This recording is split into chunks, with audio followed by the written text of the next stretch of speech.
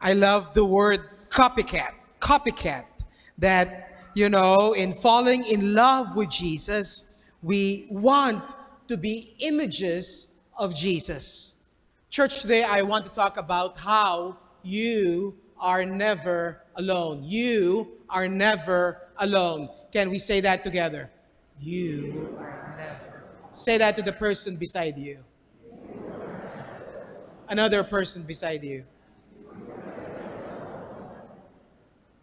Church, so today is usually the day in which the church celebrates the feast of the archangels. And this coming Wednesday, October 2, is the feast of the guardian angels. So in the Catholic Church, whenever a feast day happens, a feast day of a saint happens on Sunday, it is not celebrated. Even if that feast day is the feast day of the Blessed Mother or of Saint Joseph.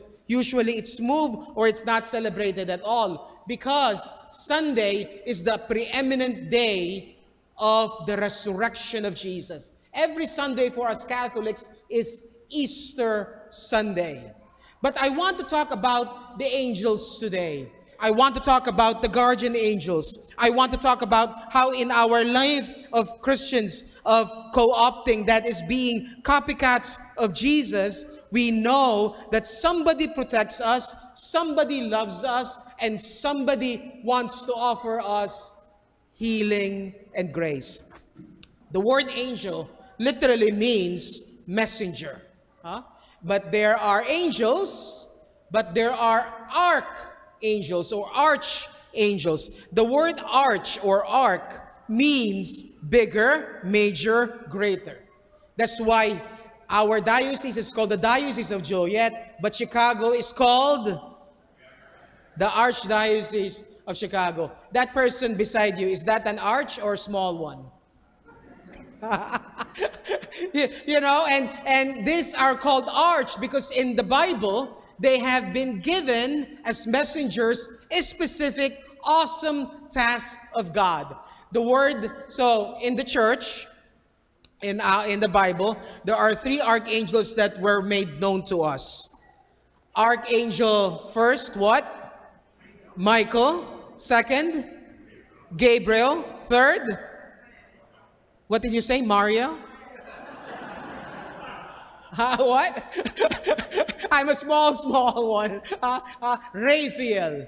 The word Michael means one who is like God because he is such a protector. In the scriptures, you will hear that Michael is always sent to protect his people, God's people. You know, that's why he is the prince of the angels because God wants to protect us.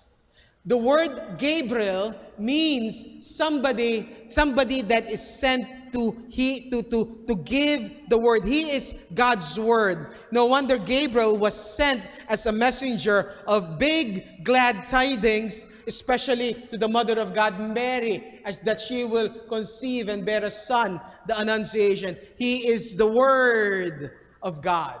Third, Raphael, meaning God heals. Because in the book of Tobit, in the Old Testament, he was sent as an angel to heal Tobiah. To heal Tobiah. Now, angels, angels are of another category of God's creation. Uh, there is God, there are the angels, and there's us human beings. There is a misnomer out there that, you know, when we die, we become angels. No wonder this belief has crept on the postmodern culture in the last 30, 50 years. So sometimes you hear the word, oh, you are my guardian angel. Oh, you know, dad who is past, like my dad, has become an angel. Or, you know, God needed an angel so that that that's the, that's the reason why he took your spouse or your child or this. Fake news, brothers and sisters. We don't become angels, and angels don't become humans. Those are two different kinds of categories. Angels were created to serve God and to serve us. To serve us. Huh? Our guardian angels, whose feast day we celebrate this Wednesday, October 2, is given to us so that we will know that we are not alone. Even Michael is sent to protect us, Raphael to bring us God's healing, and the Word of God through Gabriel, because God wants us to know that we are not alone. You know, in the first reading, you know, we heard that the spirit of Moses was given to 70 other elders because God wants the people of Israel to know that they are never alone. Did you notice how many times I said, You are not alone? A lot, right? That's not a complaint, right? because oftentimes, especially when the dark clouds are in our lives, not only do we feel, but oftentimes believe that we are alone. When you've done something bad, when you have become unfaithful to your family or to your vows, when you have done something wrong in your life, you know, the enemy, the word, uh, brothers and sisters, the word Satan means liar. Liar. And he is the father of lies. Because he will lie to you. He will tell you that's how you are. You're stupid. You cannot, you, you, you cannot be good to your family. You cannot provide. Forever you're gonna have that sin. How dare you? You're so small, you're gonna remain there. All lies. All lies. When you are sick, when you are in the hospital, in the emergency room, when the doctor tells you that you have cancer and that you have two months to live, the enemy tells this of you. You're gonna die. You're a loser. Don't tell anyone. Just be sad. Just feel alone. Heck, goodbye. And so we believe that we are alone.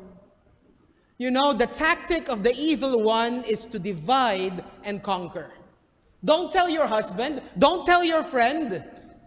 Don't go to confession for that sin. No, don't.